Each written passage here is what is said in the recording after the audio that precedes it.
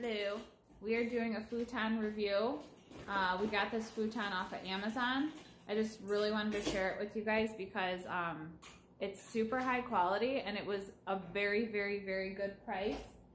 Um, and Keith is over here putting it all together. So just putting those feet on real quick. All you really need, they give you the tool and everything to screw it all on. These just, what, spin right on, these feet? Yeah, easy. Easy, schmeezy. Assembly. Assembly. We ordered our dresser, I had had my friend come and help put this whole thing together for like four hours. Yeah, no, and the price is like seriously right for this couch. I think it was like 140 bucks on Amazon. And it ship it literally shipped in a week. So we'll put the link in the description below for this couchy wouchy. All right, here's the grand reveal. He's about to flip it. Oh, that's a nice futon. Ooh. Can we sit on it? Yeah. And then it folds down into a bed. Oh. Serta, that's what our, um, oh no, you know what? Our couch is a Beautyrest inside. No. Ooh, it's comfortable too. Yeah. This is nice. It is nice. This is a nice couch. I don't have a long enough arm. It's simple. I like it. Yeah, let me get a better shot of the She front like- way. Does the Yorkie like the new futon? Ooh. Take a nappy with Ooh, the Lasho does too.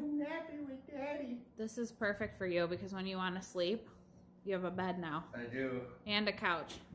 Oh wait, where's the new pillow? Let's put the new pillow on it. Oh, yeah. This is a nice futon. The quality is like, I'm very impressed. Ooh. I actually didn't want armrests um, because I mean it was this is kind of funny, but if you buy a really cheap couch, it comes with cheap armrests, so you have to spend over six hundred bucks to get something with good armrests. Mm-hmm. I didn't even think about that or armrest when I was looking at it in the picture, honestly. Fun. I was just thinking about functionality and like how it This is would for a studio and for work. I don't want to get too comfortable. Right. I could get an arm and a pillow. Yeah, but people can like if you know they're you have guests and stuff, they have somewhere to sit. You can have it in your podcast. Yeah.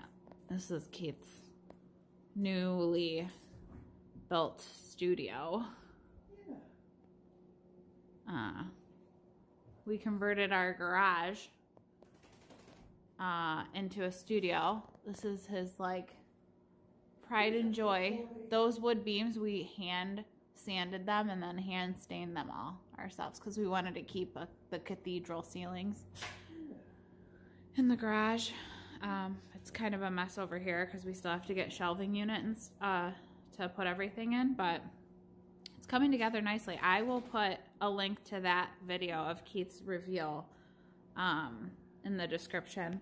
And then I'll also put a link to this amazing futon.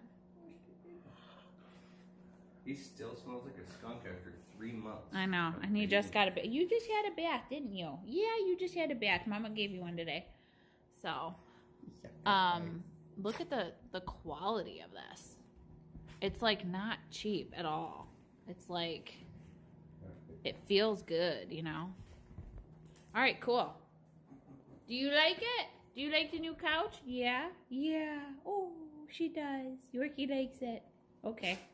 Yorkie approved. Mm.